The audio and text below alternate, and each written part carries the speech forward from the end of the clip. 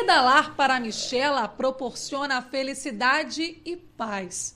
Menos quando se depara com cenas como essa no centro de Campos. As motos lideram os flagrantes de invasão de ciclofaixas. Em uma das imagens, a moto quase colide com uma bicicleta.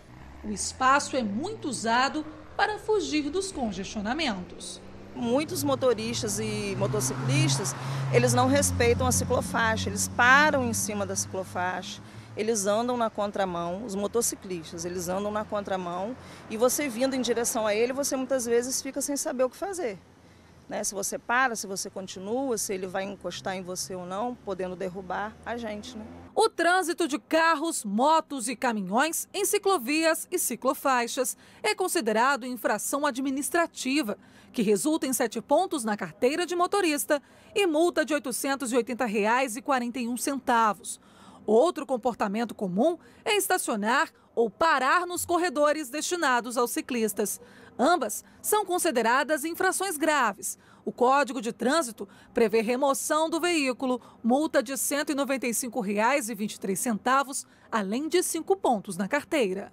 Na maioria das vezes, a ciclofaixa fica do lado direito da via e em mão única, onde há integração com veículos maiores. E quando essa divisão não é respeitada, apesar das sinalizações, a pior consequência é um acidente no maior hospital de emergência do interior fluminense. Entre os meses de janeiro a agosto deste ano, apenas de acidentes ciclísticos foram 984 vítimas atendidas e 255 de atropelamento. O trânsito, assim como a família, a escola, é uma microprojeção da nossa sociedade, né? Então, muitas vezes nós vamos nos manifestar no trânsito de acordo com aquilo que está interiorizado, ou como nossa personalidade, ou até mesmo aquilo que a gente está atravessando no momento. Então, no trânsito a gente vê muito o estresse com o trabalho, a pressa, a necessidade de uma extrema produção e até o desrespeito mesmo, a sensação de impunidade impunidade e a própria hierarquia em relação aos outros condutores. Entre os ciclistas também são constatadas irregularidades. Nesta rua, que possui uma ciclofaixa estreita, foi possível flagrar alguns na contramão. Foi assim que Michele quase sofreu uma batida. A gente pede mais atenção aos próprios ciclistas, que eles andem na sua mão. Né? Você já levou um susto? Já levei um susto, já cheguei a frear junto com ele e bater o pneu com o pneu, mas eu não cheguei a cair.